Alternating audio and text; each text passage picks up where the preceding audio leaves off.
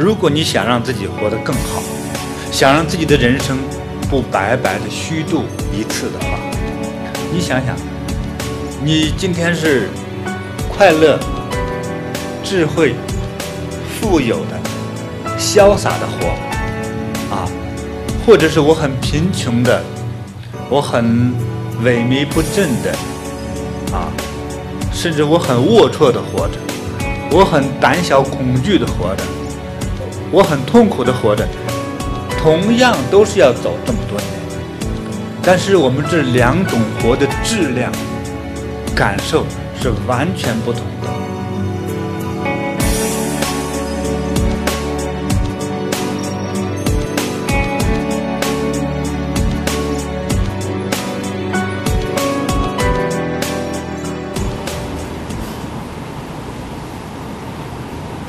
很长时间没有来到台北台北的道场，呃，所以很想念大家。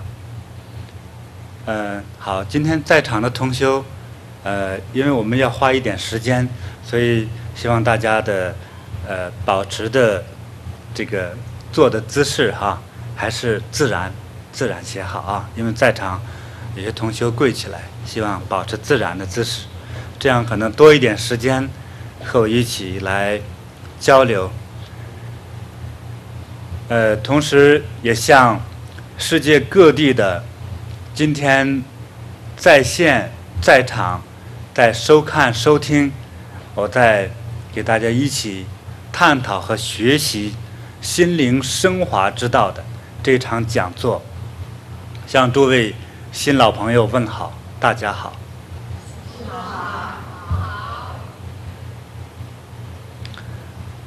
因为今天是我们第一次，呃，通过网络向世界各地的道场，啊，乃至一切有缘分能够呃收听收看到，呃，我们这一次呃法会实况效果的朋友呢，来呃试验性的来学习和交流，啊，因为我们今天。因为分布到世界各地的话，那么大家的呃品味、呃需求、呃境界，可能都不太相同啊。因此呢，这个话题呢就嗯不太好讲。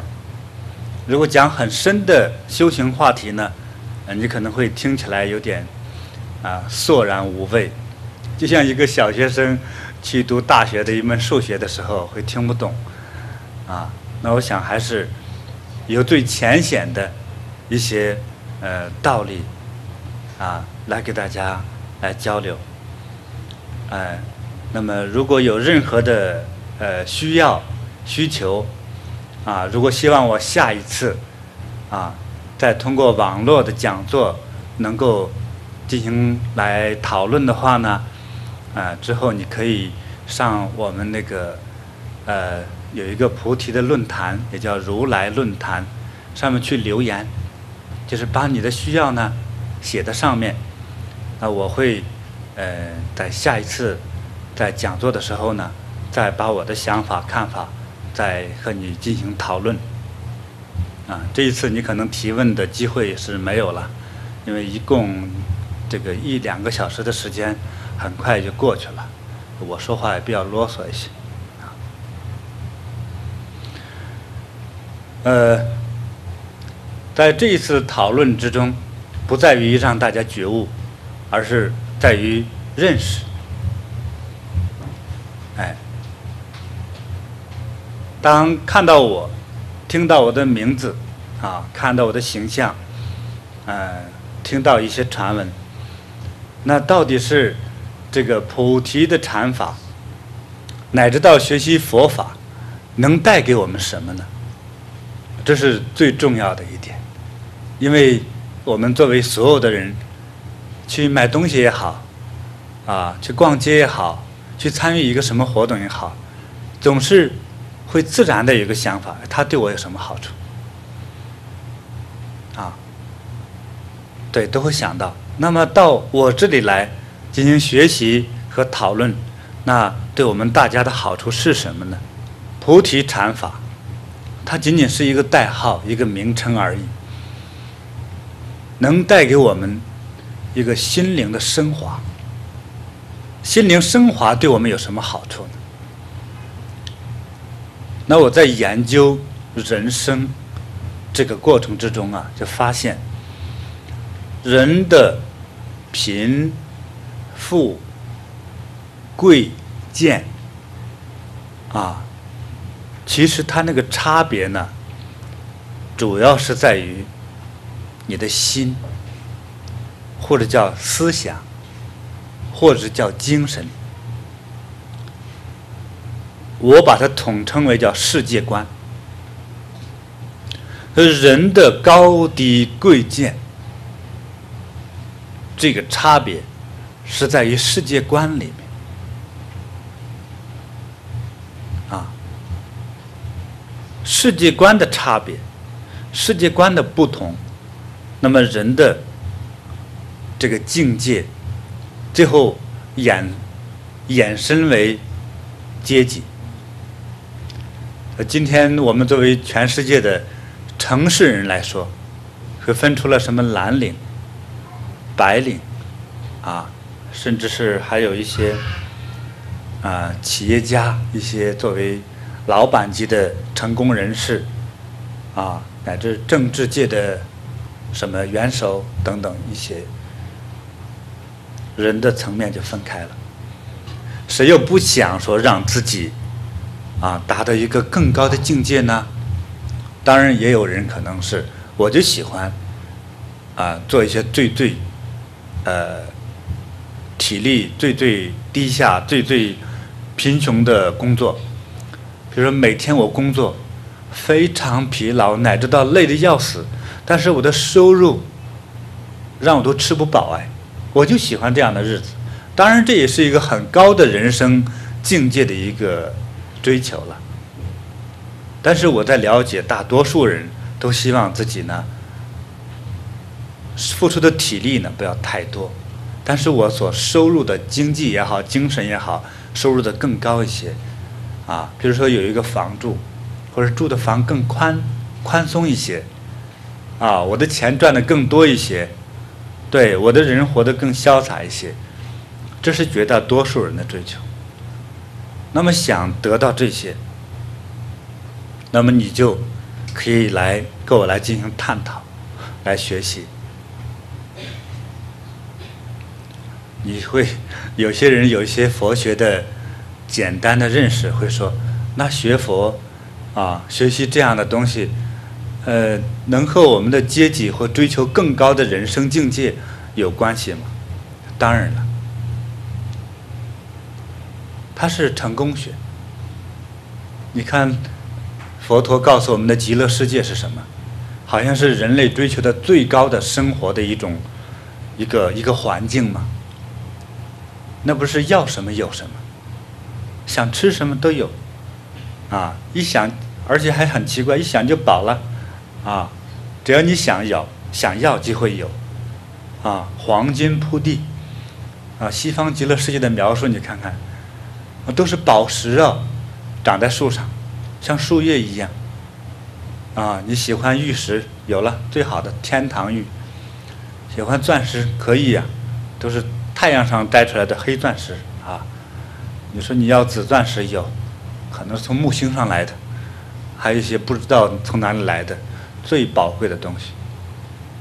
那么这一切的描述是指什么意思呢？不就是物质极大的丰富吗？那么佛陀教法之中，都给了给了我们这样一个启发，那么就说明什么呢？人类对精神、对物质的追求，希望是完美的。每个人都希望自己绝对的富有，啊，还有绝对的健康。所以到了极乐世界之后，很少人在那咳嗽，很少人在那得病，很少人正在那得着癌症折磨的痛苦，没有，没有疾病，啊，没有感冒，乃至都没有什么情感上、婚姻上的痛苦，都是没有，所以从经济物质上，啊，身体上，啊，这个精神方面的、情感方面的，都是非常完美的、圆满的一个状态。其实，这里所反映的极乐世界，就是衬托出来人类的最完美的生命需求是什么。好，这是一个从精神世界观方面，如果需要让自己走得更高，啊，欢迎你来讨论，欢迎你来学习，啊，可能能得到一些启发。或者是引导，啊，第二个方面呢，什么样的人需需要来学习来交流呢？就是健康需要者，啊，这个健康需要者当中很难说是心灵健康需要还是呃身体健康需要。我认为心灵的健康会影响到身体的健康。身体的健康会影响到心灵的健康，啊，这两个这两种啊不同的东西是相互影响的，是一定的，啊，也不是我很聪明很伟大，啊，从中国的中医学当中反映的很清楚，啊，情绪和健康之间互生的一个关系，嗯。呃，新来的朋友会说，那像，因为我们是呃佛教的法门，啊，学习这样的法门之中，能对身体的健康会有帮助吗？当然了，说我们开心了，我们快乐了，那我们就会得到健康，我们过去的身体的疾病和痛苦就可能得到一定的。疗愈的作用，康复的作用，尤其是最明显的，说是像忧郁症，啊，胃病，哎，这个关节疼痛，呃，失眠，啊，最严重的一个问题，也是最可怕的一样疾病，就是那个肝病，啊。说，尤其是像消化系统和大脑、心脑血管的部分，这它与我们的情绪太有关系了。很聪明的人会想到，情绪和精神思维的部分是相等的吗？它不相等，但是都是来自于一个系统。你精神中对事物有了一个错误的观念和障碍的时候，你的情绪就会受到了影响。啊对，所以精神系统它表现出来的第一个反应就是你的情绪的反应。情绪当持续一定时间的时候，就会引发出身体的反应。最快速的反应恐怕就是在刹那间，刹那间。比如说你正在走路，低着头走路。啊！突然一抬头碰到一个你久别的，而且特别喜欢的一个小时候的老同学，他和你的关系就很好，哇！那种喜悦，一刹那，你的眼睛看到他的时候，你的身体就会有反应的，快乐的，感动的，啊！那么从科学家来说去研究，那你大脑的分泌物，你的身体上的那种能量的通畅感，啊，啊，那。都会有了快速的反应，所以我们看到恐怖的电影的时候，哇，晚上鬼来了，啊，那个可怕的那个情景一产生，你迅速的，不需要等两个小时之后才开始害怕，那反应实在太慢了，比蜗牛还慢。那通常人迅速的哇害怕，我们的肌肉开始收缩紧张，你的大脑的分泌物就是开始产生紧张的，啊。疼痛的，啊，恐惧的，啊，会引发好多好多问题，啊，最严重的，有的人当场会休克，哦，看电影能让人休克吗？有没有听说过呀？应该可能有啊。啊，先不管说有没有这么严重哈，我就说这个，呃，精神啊，到情绪到整个身体生理的反应，其实是刹那间的。啊，但是，一旦形成疾病呢，有些问题是刹那间就能形成疾病，比如说恐惧。从中医当中，从中医学来说，说恐惧就能伤肾，所以伤了肾脏的系统之后，呃，有有的人不分男女哈，就可能小便失禁，或者是小便变得很频繁，啊，平常人可能两个小时去一次厕所，嗨，这个是受惊吓之后可能十五分钟就要去一次，而且可能还有很多具体的不正常的一些反应，排便的反应。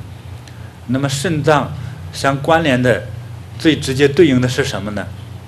啊，内脏来说是心脏。好，那么所以当肾脏受到惊吓、出些出了问题的时候，那么我们的心脏上也有感觉。啊，所以害怕的时候，首先觉得好很很揪心呐，你的心脏开始收缩。啊，所以当被快速的惊吓之后，肾脏受到了伤害，心脏呢？同样受到了伤害，啊，不管你是多么年轻还是多么大的年龄，从此之后就可能落下一个心脏病的一个根源。哎，有时候年轻呢，哎，过几天恢复一下就好了，也许到四十岁、五十岁以后，这个被惊吓的这个问题，有一天会爆发出来，就变成了肾脏的疾病。啊，呃，我是指肾脏系统啊，可能表现在膀胱上、输尿管上，还有肾脏、肾脏的本身，还有心脏，乃至到心血管，乃至到再引发到脑血管，在最后影响到大脑。因为心脏每天像个水泵一样，往你的身体上、大脑上供血。它受到影响之后，它的供血 缓慢了，它没有那么大的力量往上供了。好，你的大脑缺血，身体半个缺血，那你的身体反应是什么呢？木讷、迟钝，走路的时候一面好用，一面不好用，就像一个机器人半面瘫痪了，会怎样？一个眼睛该睁睁开了，一个眼睛还睁不开。有半边脸笑，半边脸不会笑，那个感觉实在是太痛苦了。除了难看之外，会很痛苦。对，所以我们刚才说的这个事情严重了一点啊。但是真的有人会引发了这么多的问题。我们现在讲的是这个道理：精神会影响身体，会影影响我们的生理系统，影响到我们的健康，最后导致是疾病，最严重的是死亡。啊所以他们之间是互生的，所以来学习我们这一套方法，呃，对于我们的身体啊、心灵，一定是有帮助的。那么什么人能够学呢？啊，通常来说，啊，只要能够静下半个小时来。能够听老师讲课的人，所以从儿童来说，通常是六七岁以后，就他能够正常读书的这个年龄，就可以学习。只要到了正常读书的年龄，因为他有一段时间能够静下来听老师讲，就可以了。啊，那么再往上伸展这个年龄，我觉得一直到可能年龄很大都可以。啊，所以这里没有一个最终说多大年龄的人是不允许修了，没有的。啊，据我的经验来说，有些人老人家乃至到生命临终那一刻，还得还能够坐下或者躺在床上在诵念咒语啊，也是一个修行方式了。所以当面对最后那一刻，人生最后那一刻的时候，还能用很平静的。很坦然的心去面对，哎，那是一个不同凡响的一个境界呀！啊，我们当然今天主题不是讲死亡哈，就是说每一个人只要能够六七岁以后能够读书了，就可以来学习啊。他最终的年龄一直到临终那一刻都是可以的。啊那么现在看似健康的人，看似身体健康的人，好像我们的智力反应都很健康的人，需不需要学习呢？有可能需要。我刚才讲过了，如果你想让自己活得更好，想让自己的人生不白白的虚度一次的话，你想想，你今天是快乐、智慧、富有的、潇洒的活，啊。或者是我很贫穷的，我很萎靡不振的，啊，甚至我很龌龊的活着，我很胆小恐惧的活着，我很痛苦的活着，同样都是要走这么多年，但是我们这两种活的质量、感受是完全不同的。从正面的活，如果快乐、健康、智慧。啊，富有，啊，潇洒的活，那像活在天堂一样，啊，那很好，那种整个人生的感觉是好的，啊，很幸福感。如果负面的、痛苦的、疾病的、萎靡不振的、非常贫穷的，总是被一切痛苦和烦恼折磨的人，你的活着就如在地狱一般，度日如年。所以，越是贫穷和痛苦的人，他这个时间就觉得过得好慢了。啊，你想一想，你正在痛苦着得着病的时候，啊，他时间过得这么慢了。很贫穷的人不敢见到天亮，天亮之后，哇，我和我的家人、我的孩子，甚至我的父母，都等着我去赚钱吃饭来。这个天千万别亮啊！亮了之后，他们就要开口吃饭。我没有能力赚到钱，没有能力养他们，甚至是老人或者孩子正在得病需要钱看病，我没有能力，哇，好苦啊！所以晚上你也睡不好。有的人说闭上眼睛我忘掉这个现实的世界，但是毕竟你还要面对这个世界，毕竟你还会睁开眼睛去面对这个现实的痛苦，所以很痛苦的活着，那那个日期很长。时间，这每一分每一秒会延长了很多，是因为痛苦。你会感觉时间过得很快的时候，就说明你活得还比较幸福和自在。所以同样都是活，这两种品质感受，完全就如天堂和地狱的差别一样。因此，我们想活得更好一些，你要不要来学习呢？真的需要。还会有人说：“哇，今天来听你讲讲课吧，就会这么大的一个压力给了我们了，就是分出天堂和地狱来，这太可怕了吧？”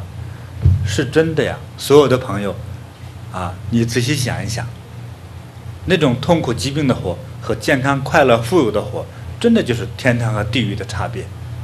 你是需要来学习，需要来究竟它。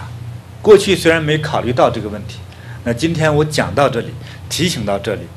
啊，算是你有福气了，啊，如果活到啊三四十岁乃至到四五十岁都没有认识到这一点的时候，我很难相信你活的是好的那一面。嗯，如果有的话，嗯，你可能很很幸运。那如果说我们想学习，那怎样来学呢？我想来修行，我怎么样来修呢？其实修行和学习是一个词语啊，是一个意思。只是用在不同的，啊，用在宗教也好，武功也好，禅修也好，或者是正常的文化课，它只是用了不同的一个名词，啊，那我怎样入手？怎样来修？很简单，啊，尤其是从最初的朋友，你想，啊，我就慢慢去走向这种完善自己人生的这个学习的这个过程呢，很简单，从一开始呢，你可以。呃，去网上下载啊，或者找知道的朋友呢，哎，来复制啊，copy 我那个呃诵唱的一些咒语啊，啊，诵唱的一些是我在修行状态之中的类似歌，类似歌的一种这个呃录音，你就听着它去坐下来就好了。很多人听到“禅”这个词，就说一定是清静。说我静不下来怎么办？没关系，就听我的一段录音就能静下来。它不是绝对的安静，只是相对的安静，是一个非常巧妙、特殊的方法。啊，当然了，我这个声音之中，可能还带有一定的能量。啊，我们嗯，有的人能理解，有的人不理解。声音不光是声音本身。它还有一定的携带，携带着什么东西，就像光一样，啊，我们如果学一点点物理的知识，知道什么红外线、紫外线，啊，这个所发出来的光线，啊，光知道光有个光的本身，就像我们见到太阳光、灯光，这个光它是物质的，是存在的，它能不能携带的东西，能吗？好多人还是不懂哈，好，你想我们家里控制空调、冷气、电视机的那个遥控器，遥控器就是遥远控制的意思了。它既没有电线连接，它那个遥控是用的什么功能呢？就是用的光，啊，可能是用的红外线来携带着一个讯息、一个密码，啊。那边有一个接收的机器，尤其是在家里用电视机的时候，电视机本身里面有一个接收器，接收这个光的一个一个机器，叫解读红外线光之中携带的那个数字的密码。对，所以我们一样开关、选择频道、调整声音大小，甚至是调整电视机的颜色，它都能做得到。所以它不但能携带，而且携带的这个这种里面的内容是很精确。啊，你想，你像压电视机，我压一台或者是十二台，压一二进去，那个电视机就变了，转到了一台或者十二台了。所以不但能携带，而且是很精确的携带了某种信息。对，所以光能够携带信息。铁丝能够携带信息，那么声音能不能带有讯息呢？应该能。好，啊，不管别人能不能带哈，我是能带了。我的声音里头带有讯息，带有什么讯息呢？带有吉祥的讯息。哎，因为我每天所想的就是一个吉祥的，给大家祝福的。啊，啊，我是每天做工，啊，每天念佛、持咒、修行。所以心中所想的是希望天下一切人都能富贵，都能健康，都能有智慧，都能快乐，都能够解决烦恼，啊！所以这个祝愿已经和我整个的生命已经合二为一，不能分开了。所以我的所思所想，啊，目光所看到的，思维所想到的，还有我的声音之中，一定含有这种。质量的东西，啊，信不信由你了，你试一试就知道了，啊，所以你可以听我那个声音入静下来，啊，不用多，每天只是需要半个钟头就可以了，啊，中午午休的时间，晚上睡觉之前都可以，啊，怕打扰别人可以用耳机也可以呀，现在全世界都能够用的一个小机器，小听音乐的机器叫什么来着？M P 三，还有 M P 四，啊，还有 M P 十二还没出来啊，慢慢等着吧，啊，就是一个很小的一个小工具，带个耳塞就可以了，你就听吧。它的明显的效果期就是一个礼拜之后，每天只需要半个钟头，当然时间越多一点越好，啊，一个钟头或者两个钟头。但是需要时间的积累，一个礼拜之后，你会发现，哎，我这一个礼拜，哎，我那个，我的精力很充沛，很充足，哎，好像我的大脑也很转得很快，啊，还有我的瞌睡少了，啊，有些人到下班吃完中午饭之后，这眼睛就是两个眼皮总打架，睁不开眼睛，这个大脑里面呢一团浆糊，啊，人家问你贵姓你都能答错了，啊，对，就大脑不转了，怎么搞的呢？说是困了，也可以说能量不足了，你需要调整休息一下。对，你只要用我的这个方法，持续一个礼拜，只是七天之后，这个感觉就有明显的改变，明显的改观。啊，都你会想啊，这是不是一种能量呢？对，修行能获得能量。听我的声音能获得能量。有人会问：那看你的照片，或者看你这个录像，啊，看你这个 DVD，会不会有能量呢？有，只要把你的心、身心放松下来，你就能接收，就像土壤一样，最坚硬的土壤没法接受这个水的滋润，所以你现在在听我聊天的时候，你尽量放松的做，越放松的做，能量越接受到。手心朝上放在腿上，手心朝上也举着的话就接收不到，因为你有力量，所以放松下来，手心向上，平放在腿上，对，就好了。身心放松，尤其是从颈椎开始调整放松，放松，啊，对，放松下来，一直从颈椎，啊，胸椎、腰椎一直这样松下来，再从两腿、大腿。膝关节、小腿，慢慢放松的脚、脚心、脚趾，啊，好像都放松了。哎，如果你能想象的话，你可以试一试。我想我的骨头都融化了，你想坚硬的骨头，啊，遇上了遇到了专门化骨头的一种液体，它也融化了。大家不要害怕啊，说骨头融化一会儿我还怎么站起来走路啊？放心吧，该站起来的时候，它就没融化，就能走路哈。放心好了，对，是一种方法，是我们让我们放松的一个观想的方法。哎，这样我们很放松之后，能量就很容易进入我们的身体，甚至在听我聊天，啊，无论是现场的还是通过网络视频的人，啊，听到我这样讲，哎，过一会儿你的身体都可能会有反应。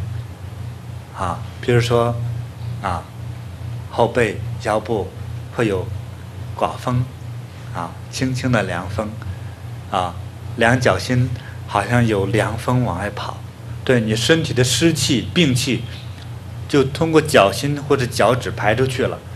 还有的人会因为你那个消化器官的疾病、内脏的疾病、肝脏、胃等等的疾病，你会不断的打嗝、打饱嗝。不是因为你吃饱了，是调整你内在的一些不健康的东西，所以这种能量当传递到你的身体之中，它会自动的调整。啊，所以那个腰带勒太紧的，今天穿牛仔裤来听我课的人，下次一定把牛仔裤提前脱了哈，不能现场脱。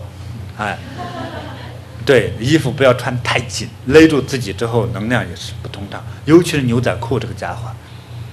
哎，腰带太紧，放松一下。但是不要把腰带全解开啊，那样不文明，一站起来可就麻烦了。放松一点就好了。对，好，放松下来，你就会体会能量。那为了让你达到更好的效果，你还可以，比如说，呃，有我的相片。大家有没有我的相片呢？有。有，没有的赶快去找去，到处都能找到。最后从网上啊。从我们的禅堂啊，我们的道场啊，啊，去要或者是购买，那是最好的哈。所以有一张照片带在身上，啊，带在你的背包里，啊，经常开车的人呢，你得多有一张，贴在你的车的某一个位置上头，啊，我相信还有大量的经验，啊，来提醒大家，呃，你身上。车上、办公室前、家里，乃至到卧房里，啊，如果有我的相片，会给你带来一个比较安心的作用了，哪怕是精神的作用。说啊，金菩提上师这个家伙比较厉害啊，贴在我家里头，可能邪魔的东西就不来，哪怕我帮你看门也可以啊啊。如果能起到这个作用的话，我很乐意啊。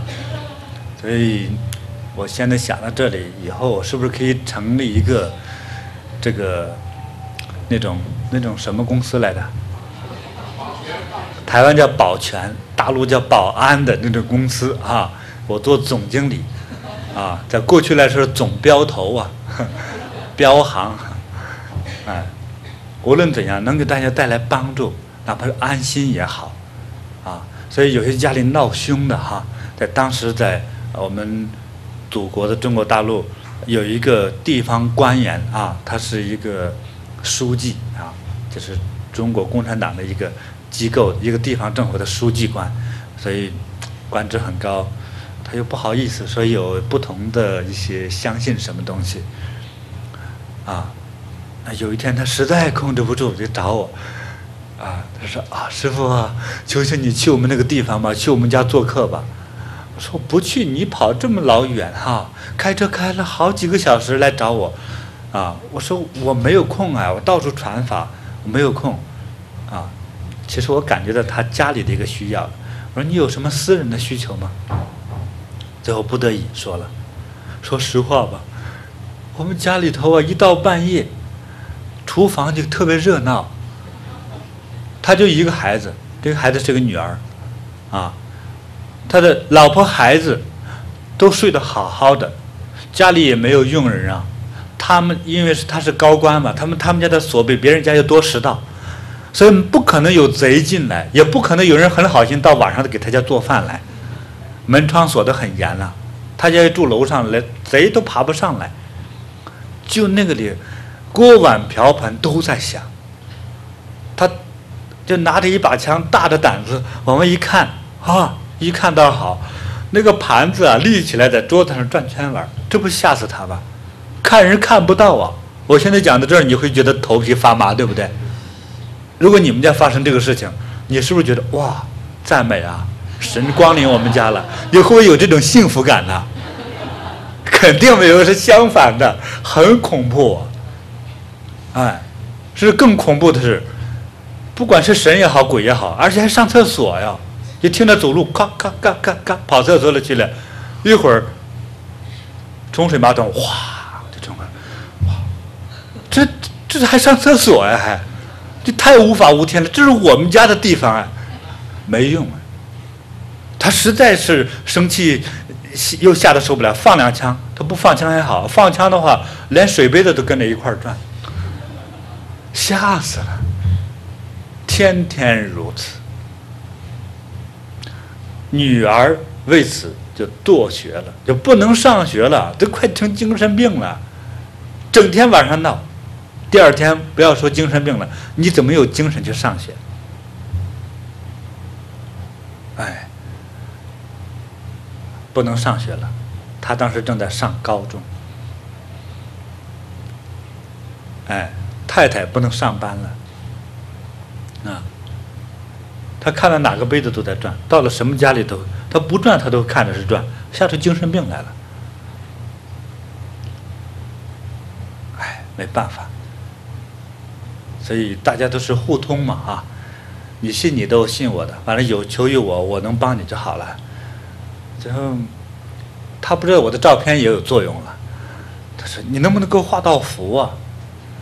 我说：“我都没学过画符哎。”他说：“你胡画也可以啊。”这倒提醒了我，我就喜欢胡画哈。啊，我说没有笔啊，哇，他我都带来了。他的秘书搬一箱的纸，一箱子笔，两大瓶墨水。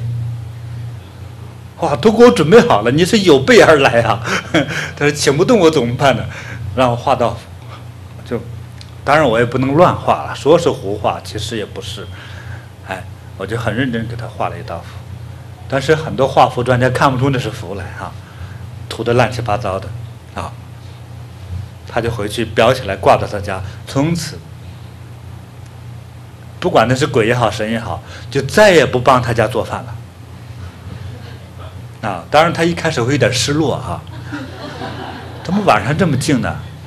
除了楼上的人有人走路之外，他没有声音了，啊，他也烦恼了一段时间为这个事情，就家里就平安无事了，啊，感动啊，哎，那么还有更多的是家里头有这种不安静的这种感觉，拿我的照片贴在家里那个墙上，哎，闹的地方就不闹了。我不给你们讲具体故事了啊！今天这个这是一个国际的一个网络的一个课堂，啊，这方面的我听到的发生的这种故事特别多，啊，都会起一些作用，或者是起到了根本的作用，所以帮你们家看门也是非常好的保镖，所以带在身上，放在车里，放在家里一定有好处。啊家里什么地方呢都可以，尽量别贴贴贴贴厕所里头，我不喜欢那个味道。啊，嗯，这一定是有帮助的，啊，请记住。那么也提醒大家说，你面对神像、佛像、菩萨像，如果在家里有供奉，或者哪怕是张贴，或者是作为艺术品。都要选一个认为高雅、高贵的地方，高雅的地方比较好。如果你心中亵渎他，说他不行，他就不会保护你家，他就不会产生一个神的呵护你的作用，因为你不敬他呀。啊，对他是亵渎。你说神既然是慈悲的，我们如果亵渎他，他就不保护我。首先你想呢，神可能是来自于天堂的一个生命啊，他也有他的性格和尊严的。所以你恭敬他，你其实在和他在沟通的某个讯号，啊，就我们说调电视机的台，电视公司发射了十个台给我们，我们不把讯号调到他那个台里去，你就收不到他。对，所以我们怎么调整呢？我们怎样调整到与神佛菩萨的沟通呢？叫恭敬。当然说你想和我沟通，也是需要恭敬。才能沟通啊！有的人新的朋友来说，那这样讲，那你金菩提不就成神了吗？对，我觉得我是神啊！我这个因为我小时候很笨，我最后修行一下就转变了，好多事情就一通百通了啊！所以有很神圣的一面，就是像很多人在现场，还有在全世界各地在收听我的声音。看到这一段视频的时候，你的身体就一定有反应，而且对你一定有帮助。信不信由你。你体会过之后，你会发现是不是神？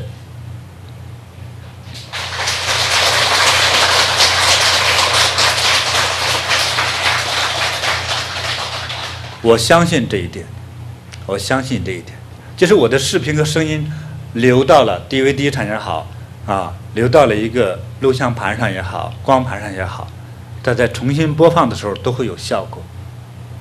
啊，过去我拘魂，啊，后人看这一段录像的时候，还得被电视机给拉过去，人直往电视机上去撞，啊，对，很多作用，帮大家调理消化系统、胃口的时候，很多人看这一段录像，哇哇的吐，啊，把那个病那些东西全吐出来。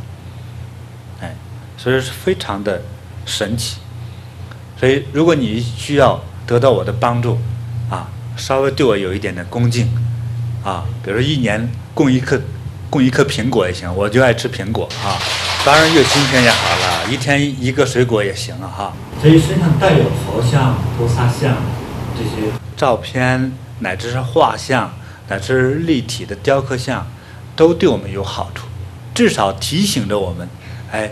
我们行为要规范呐，我们不要做伤天害理啊，这些事情啊，对不对？是对我们有一个善意的提醒，因为我们懂得，这个做坏事就有坏恶报，啊，做好事就有好报，这个因果的这个关系，它不是一个宗教的哲学，而是一个自然的哲学，啊，就是春天来了之后就是夏天，夏天之后就秋天，秋天之后是冬天。那么有了这个季节的分别之后，首先与我们的收获有了关系，农作物的成长乃至到整个生命的成长循环，有了一个明确的一个关系。为什么过春节呢？是一年结束了，新年来到了，春天的时候，尤其是北方哈，这个天寒地冻，但是不管多么冷的春，这个春天，你看那个小芽就开始往上钻，就是地球的暖的信息就开始增长了。到了春天的人，从人来说，都会有一种啊，我今天做什么呀？啊，一种欣喜的一种能量的啊，尤其是表现在思维上。你就促使你去想，啊，所以春天带有生命的冲动和能量，啊，冬天让人休眠，就是想好好睡觉、好好休息、好好保养、好好补充能量，啊，因为春天到了之后，我们就要开始往上冲了，对，所以这个因果的关系是一个自然哲学，是自然的规律。啊，我的体会和我就研究了好多好多人生的这个故事之后，确实是善有善报，恶有恶报，请你相信。啊，你在一边相信这一个观点的时候，这个过程之中，你一边去体会着善有善报的好处和收获。你看，有些人年轻人说，呃，请问师傅，我总是交不上女朋友怎么办呢？你对人好一些呀，啊，你对人开放一些，你对人关怀一些啊。就找得上了，很多人，你你和人接触的时候，你很自私，你自己能买一个雪糕，你就不给别人买，想着这是我赚来的钱，我凭什么给你啊？那人家凭什么爱你呀？对不对？我们就拿一个事情举例子来说，你只有对人好，而且有一个舍的心，啊，你会有遍天下的朋友的，但是不一定有遍天下的女朋友哈，那就坏了，就是是指朋友很多，哎，我的快乐就很多。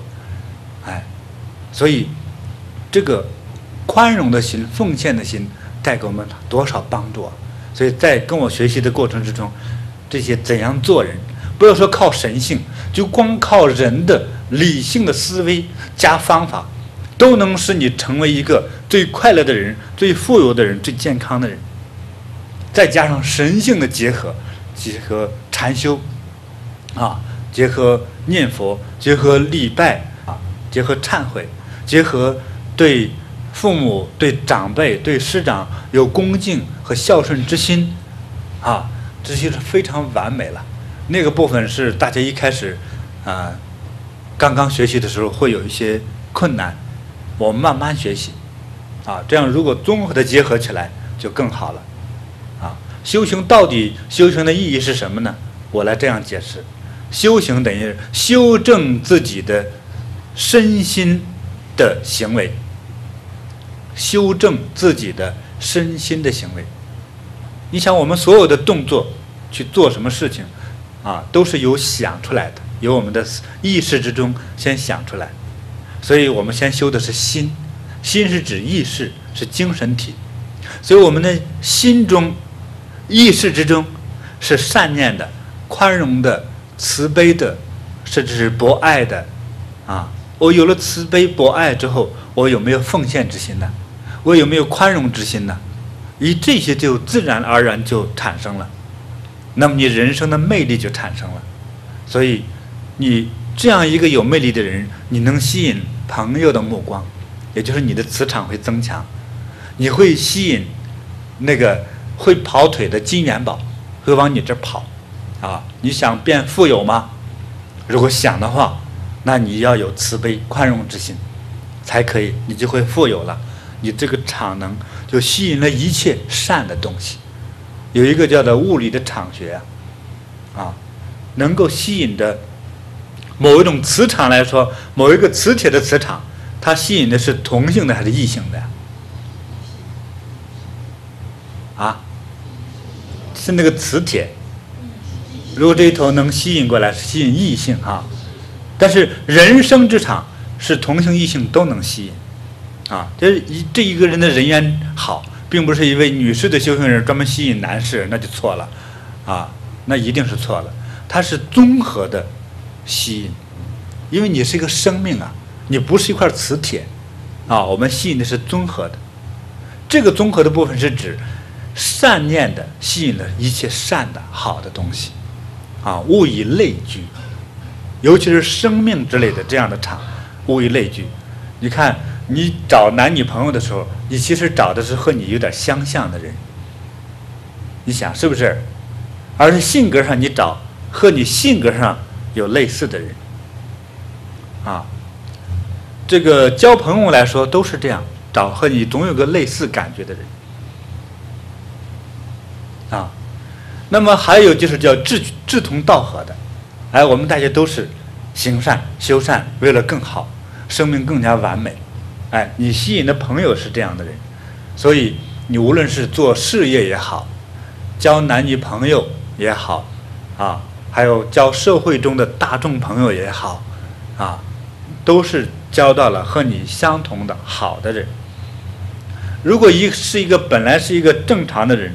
如果让他到了一个不好的地方，比如说一个挺好的人在赌场工作，在赌赌博的这个场所里工作，最后他交到的朋友差不多都是会赌博、爱赌博、算计赌博的人，对不对？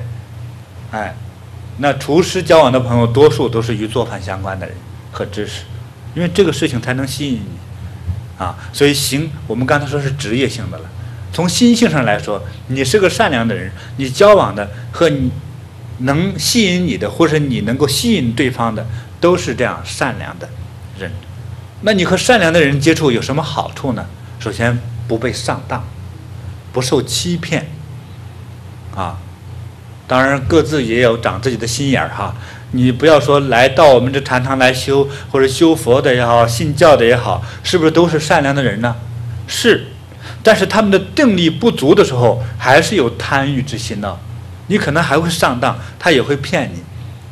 但是毕竟他们心中还向往着善良，他们也是在一个学习进步的过程之中，难免还是会犯错误的。所以同修之间，那么你的心性的这个开合度、把控度，你的生活和私人的隐私当中，还需要自己来把握一个量和度。好吧，你说同修来了，我把我所有的隐私和家里的存款等等一切的事情全告诉他，也可能让你痛苦，也可能让你上当，所以这个还是需要你自己来掂量啊！哈，不要说到这儿来就都是好人了，他只是企图成为好人。所以人在整个成长的过程之中，也是在不断的进步的，但是还会有不断的错误。嗯，希望自己把握啊。所以，想修正我们的行为，让自己变得更好，也需要你自己经常要提醒自己，提醒自己。最好的提醒就是说，因为佛菩萨照片大家见惯了，那你身上、车上、办公室、办公桌，你能看到的地方，最好都有我的照片，那是最好的一个方法。今天我讲的内容是什么，在你心中会留下一个印象，留下一个朦胧的印象。至少是一个善念的提醒，这样时时提醒着自己，啊，我要修正自己的行为啊。比如说，你和同事之间啊，有了一点烦恼，有一点争执，有了意见的不统一等等的，你要想到应该怎样做一个善良的人。所以，时时对自己的提醒是最最重要的。这种时时的提醒，不是最初学佛、学法、学道的人。才需要这样，是所有的人都需要时时提醒自己，才能让自己少犯错误，多做善事。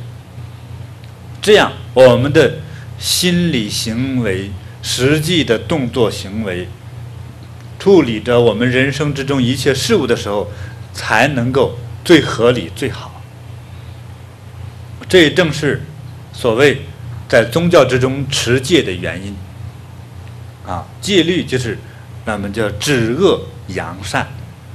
恶是指错误的、歪斜的，尤其是明确指了恶的，比如说不杀人、不偷盗、不邪淫、不做坏事等等的，这是明确的，那个错误的恶的东西，我们一定要制止，否则的话，就让自己误入到一个这个有罪的这个行为之中去，自己犯了罪，自己都不知道。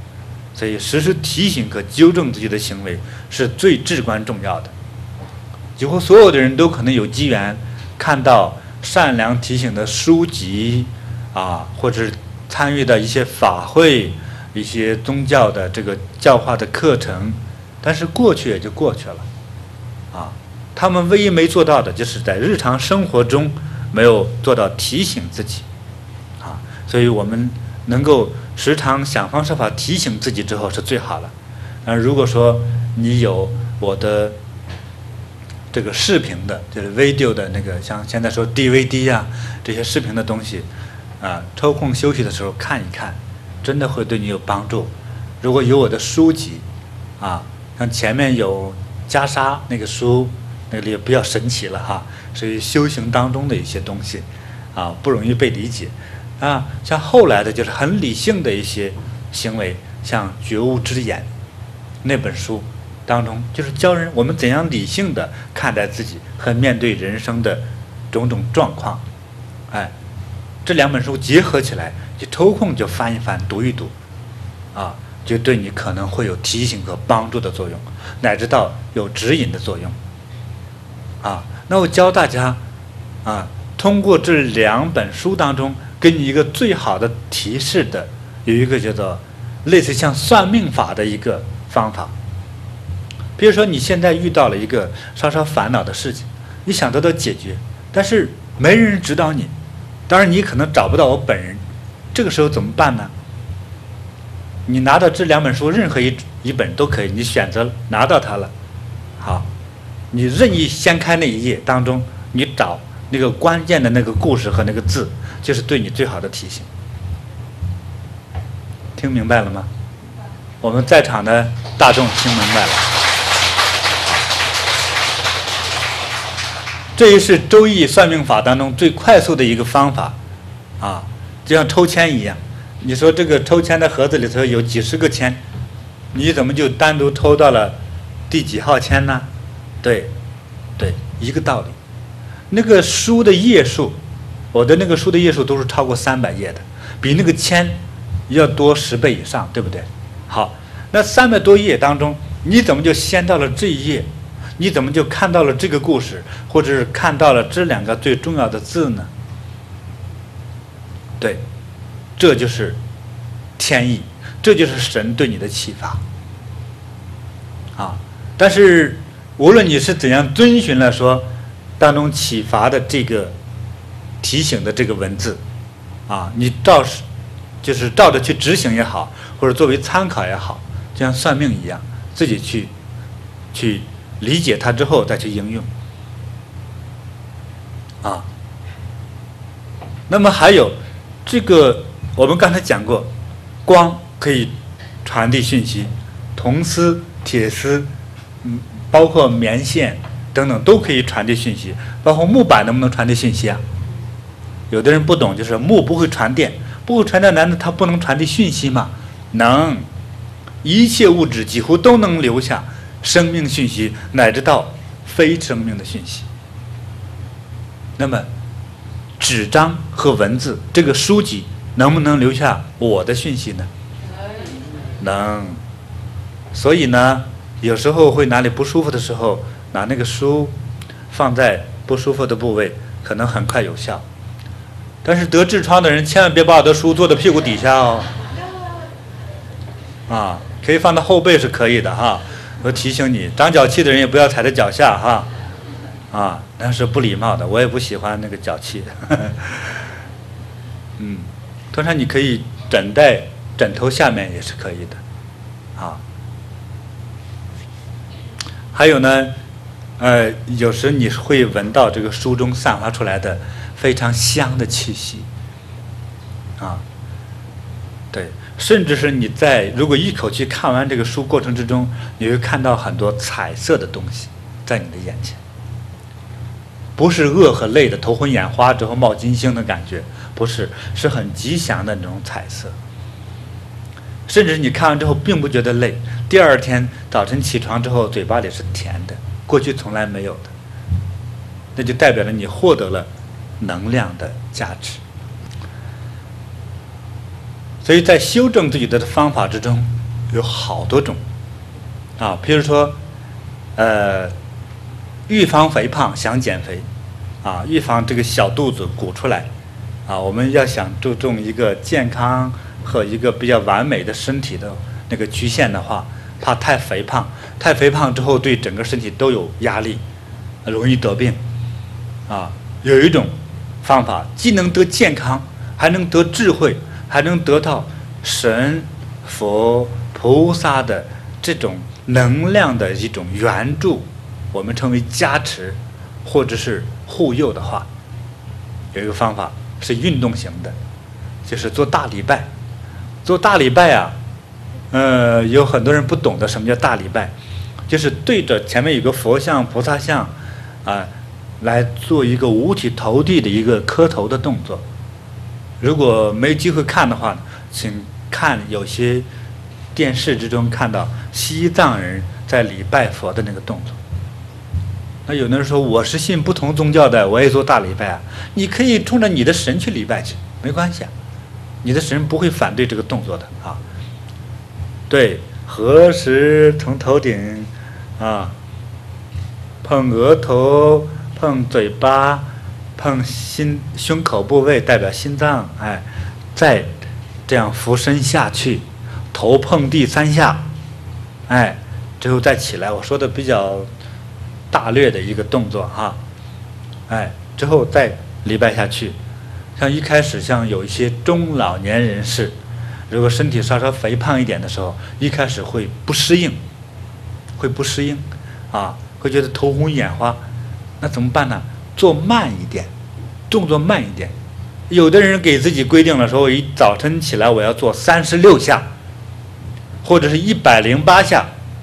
然后就光顾着说我要做这么多下了，其实会造成一个速度自然就会加快了，加快之后你的身体受不了啊，你过去没做过这个动作啊，啊，所以做慢一点，你这样不讲次数，讲时间，所以第一开始做的时候，先从做五分钟开始，你旁边放个表看看，五分钟我休息一下，而且还是慢慢做。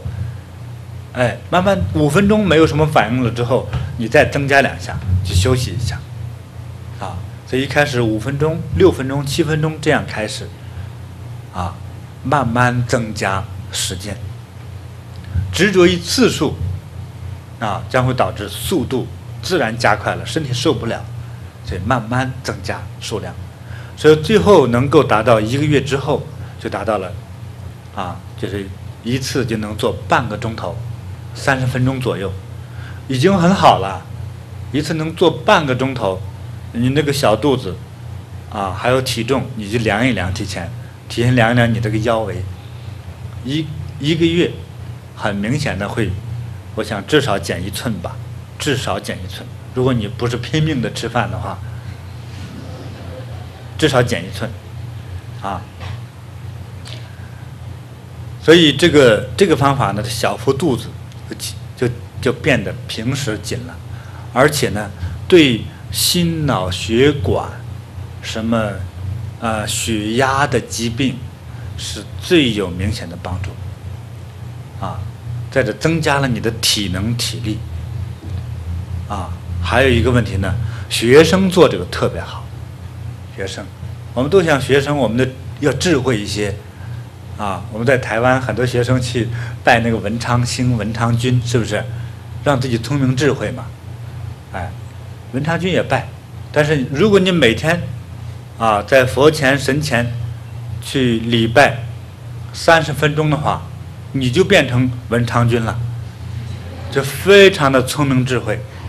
哎，对，你看我们人类呢是直立型的动物，站着。这个头一直冲上的，头顶一直冲上，很少这样俯下身去，又带有恭敬之心，带有这种恭敬加清净之心，很少有。说一旦我们有这样的机会，经重复在做的时候，心怀善念，希望得到神佛菩萨的这种加持、呵护，哎，你在和他沟通着呀。说不光是一个身体锻炼的一个行为，最关键，他的精神的部分是得到了你所恭敬礼拜神佛菩萨的这个加持，是一个外力高能量对你的一个一个作用，啊，一个补救，一定是非常非常好，啊，对你的什么消化系统，对整个身体的帮助，那是没得说了，非常非常好。最关键，你的智力。所以我在那看那个佛光山，台湾佛光山星云大师，开山宗师星云大师。他的传记的时候，他就讲到，他十多岁的时候在南京某寺庙出家，出家之后呢，有一次就是这个烧头上的这个戒疤，我们看到出家师傅头顶上那几个点，对不对？哎，很好看，像那个像像棋子一样啊。我不是什么意思，代表星象啊还是什么呀？开玩笑哈，戒疤，戒律。认真持戒的意思，啊，一个诺言，一个承诺。烧的时候，这几个戒疤呢是有规则的。如果是石匠的话，打石头的石匠就明白了。如果我们想把一块石头打开，很容易，找两个点，每个点上用那个钢钻往下打，打就打震动那个部分，最后那一块石板。因为这两个点，梆，就就会打裂开，在两个这个这个那叫钻子打下去的地方，这两个眼的地方就形成一条直线，这个石头就从这儿裂开的。好，星云大师小时候就是这样，他烧的这几个戒疤呀，正好形成一个方块儿。小时候十几岁的孩子啊，那个头顶骨是很软的。所以这几个点烧完了之后，这块骨头下去了，沉下去了。